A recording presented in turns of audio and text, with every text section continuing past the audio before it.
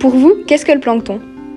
Une plante. Un insecte C'est des êtres vivants euh, dans les océans, non? Micro-organismes. Les baleines, elles se nourrissent de plancton. Je crois qu'ils absorbent le CO2. Ah, il y a du zooplancton, je sais, puis du phytoplancton. Le plancton, c'est l'ensemble des végétaux et des animaux aquatiques, comme par exemple les méduses, les larves, les algues et les crustacés. Contrairement au necton, le plancton dérive au gré des courants. Le plancton est-il à la base de la chaîne alimentaire? Vrai. Vrai. C'est vrai. Grâce à la photosynthèse, le phytoplancton est capable de synthétiser de la matière organique réutilisable par d'autres organismes comme le zooplancton. Consommé par une grande variété d'organismes filtreurs comme les baleines, il est le premier maillon de la chaîne alimentaire dans l'écosystème marin. Pour vous, l'Amazonie est-il le poumon de la planète?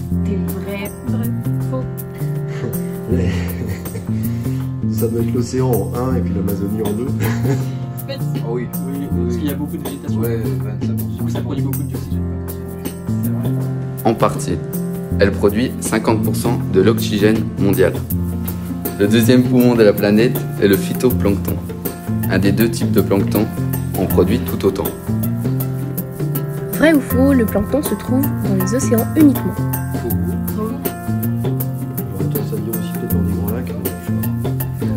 On le trouve aussi dans les mers, les lacs et les rivières. Vrai ou faux Le plancton n'est composé que d'éléments microscopiques. C'est faux. Le plus gros organisme planctonique est la méduse Chrysaora. Elle mesure 1 mètre de diamètre et 6 mètres de long. Le plancton de grande taille ne renferme que des espèces animales. C'est du zooplancton. Alors que les espèces végétales, le phytoplancton, dominent les plus petites classes de taille. Vrai ou faux Le plancton peut transmettre des maladies.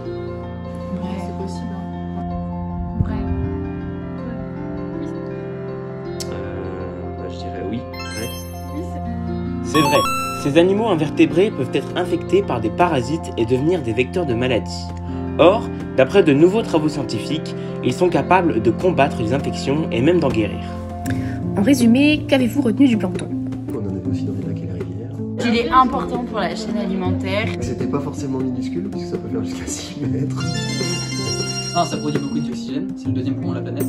Ça pouvait être vecteur de maladie. Voilà. Des choses que j'ai apprises aujourd'hui. En quelques mots, le plancton c'est un ensemble d'animaux, de végétaux et de virus qui évoluent dans les océans et les eaux douces grâce au courant. Ils sont à la base de la chaîne alimentaire et nous fournissent 50% de l'oxygène mondial. De plus, d'après des premières recherches, ils seraient capables de soigner des maladies.